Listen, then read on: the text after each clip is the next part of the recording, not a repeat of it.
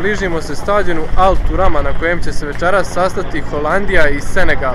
Senegal bez Sadija Manea, ali kao što vidite očekivanja od navijača su dalje velika kao i interesovanje za ovaj susret. Dolazak do ovog stadiona podrazumijevao je vožnju metrom koja je besplatna kao i autobus od određenog mjesta do tačnog do stadiona gdje je bilo oko 50 autobusa koji su također bili besplatni za sve navijače što opet pokazuje koliko je pozitivno što se ovo svjetsko prvenstvo održava u Kataru što je, a, a time i opravdao određene cijene koje su u odnosu na neke druge stvari ipak malo povišene.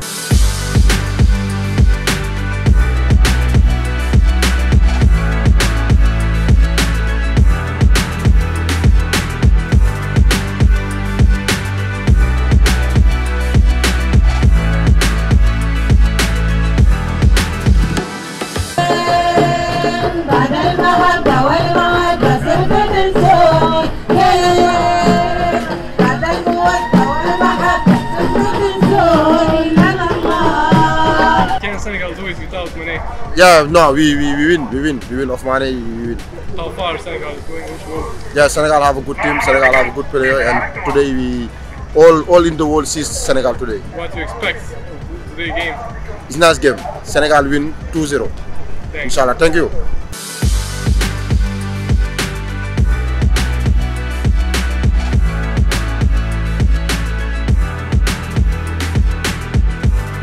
Uh, I think uh, Netherlands will win 2-1. How far Netherlands can go? What do you think? I think they are going to quarterfinals. They will be out by Argentina, I think. Uh, you, are you Argentina fan? Yeah, yeah, of course. But uh, I'm wearing Netherlands for De Jong because I'm I'm, I'm, uh, I'm supporting Barcelona. Okay. Yeah.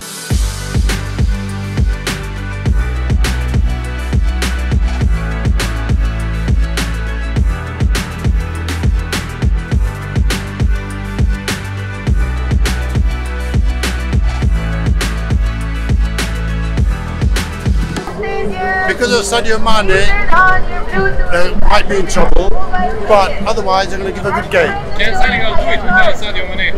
Yeah, they're- maybe How far do you think you will go? to the quarters. Thanks. If we can uh, play good, we can get into semi-final. What do you think about Louis van Gaal? Louis van Gaal, uh, I like him. I think he's a, he's a good coach. You know, uh, sometimes he has his things, but he's a good coach.